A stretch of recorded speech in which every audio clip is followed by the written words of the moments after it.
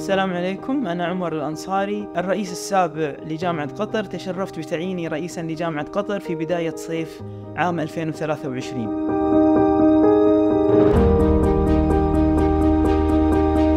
علاقتي في جامعة قطر علاقة قديمة بدأت من قريب 40 سنة. قدمت إلى الجامعة أو قبلت في الجامعة كطالب خريج من الثانوية. في برنامج الهندسة المدنية. درست في الجامعة في هذا البرنامج وتخرجت منه. عمر محمد عبد الله الأنصاري والحقيقة تشكلت عندي خلال دراستي في هذا البرنامج رغبة واضحة في إكمال الدراسات أو مواصلة دراساتي في مرحلة الماجستير والدكتوراه. وبعد ذلك تخرجت من الجامعة. تقدمت لألتحق بالجامعة كمعيد وفعلا قبلت كمعيد.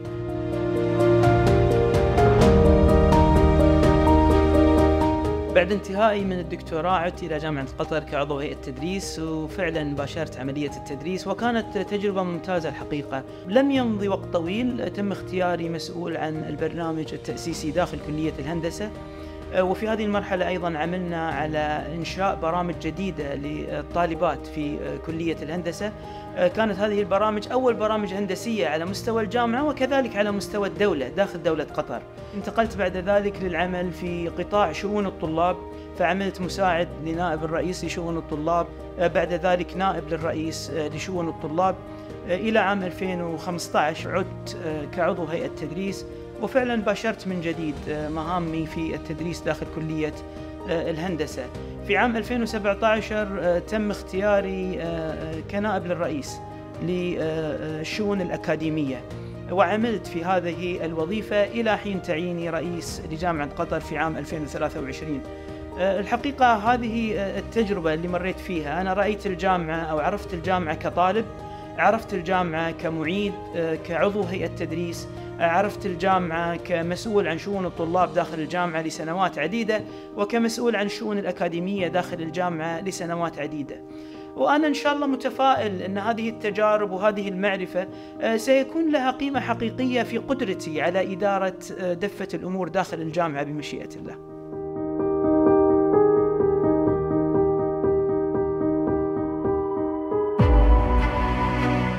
جامعة قطر بالنسبة لي تتجاوز كونها بيئة عمل أو مكان عمل.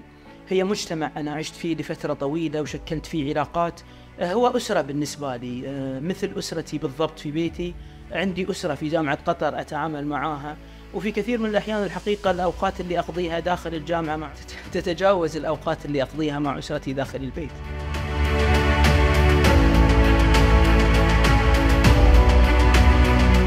تبقى جامعة قطر هي الجامعة الأكبر والأقدم في الدولة والجامعة المتوقع منها القيام بالكثير. الجامعة عليها دور واضح في تهيئة وإعداد هؤلاء الخريجين. إسهام الجامعة في حل المشاكل أو في محاولة حل المشاكل والتفاعل مع الأسئلة الصعبة التي تطرح في المجتمع. هذه كلها يعني تضع الجامعة في محل المسؤولية لتكون قادرة على القيام بدورها بطريقة صحيحة.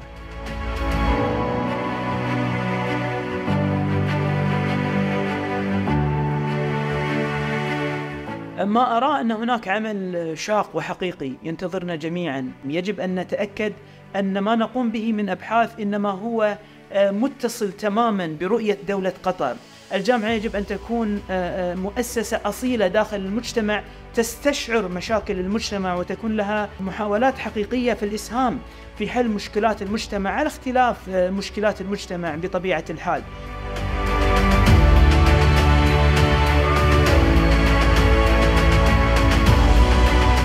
أبنائي الطلاب أنتم كذلك عليكم دور في إكمال هذه المنظومة منظومة التعليم الجامعية. في الوقت الذي توفر فيه الجامعة بيئة تعليمية أكاديمية فعلى الطالب كذلك دور واضح يجب أن يقوم به الطالب فيما يتعلق بوجود أهداف وطموحات واضحة فيما يتعلق بالتخطيط للوصول إلى هذه الأهداف وهذه الطموحات. ما نحمله من طموح وأحلام يستدعي أن نعمل سويا كل في مكانه. طالب عضو هيئة تدريس أستاذ مسؤول موظف كل منا عليه مسؤولية يجب أن يعمل لنصل سويا إلى هذه الطموحات وهذه الأحلام. أتطلع لرؤيتكم والتفاعل معكم في الحرم الجامعي وأسأل الله لي ولكم التوفيق والسداد.